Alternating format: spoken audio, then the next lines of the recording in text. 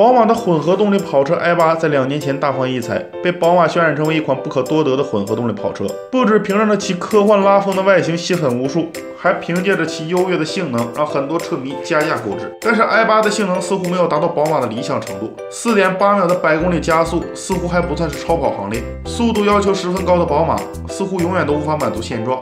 所以在基于 i8 的根底之上，又重新设计了 i9。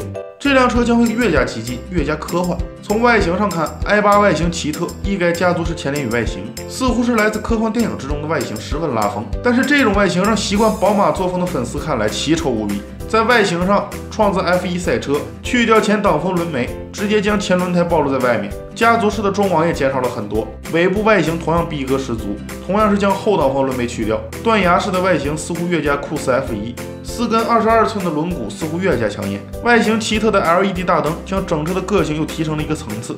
内饰方面，i9 充沛地诠释了电子的魅力。车内中控台大大小小排布着五块电子屏幕，还有 3D 投影导航。坐进此车就像坐进了科技感十足的太空舱，是够逼格的。